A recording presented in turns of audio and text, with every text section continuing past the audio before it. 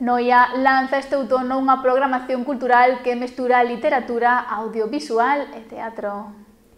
Contacontos, presentación de libros, teatro, cine e música. Noia dá benvida ao tono cunha programación para todas as idades que arranca este venres co ilustradora Blanca Millán e o escritor RJ Peralta na biblioteca. Actividades dentro do programa Ler Conta Moito que o quere dinamizar no o mundo da lectura, dirixida a un amplio foco do, bueno, de, de unhas idades amplias desde 0 anos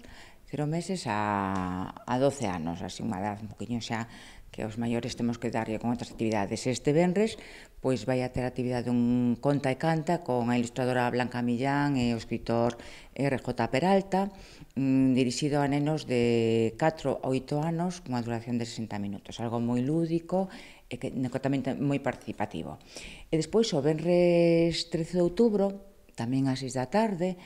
Hai unha actividade moi atractiva nestes tempos, pero tamén é de dinamizar a lectura, que é robótica educativa.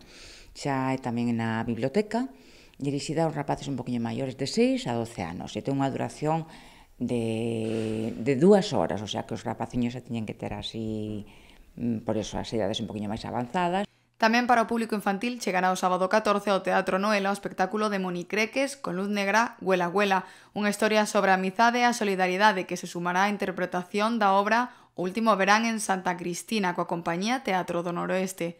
A programación inclúe a maiores dúas presentacións literarias Para Amor de José Manuel Cairo e Fremosas de Baraúnda, ademais da mostra de curtas, o documental O médico dos pobres sobre o antigo alcalde do Incio asasinado no 36 e a semana musical, citas previstas para novembro.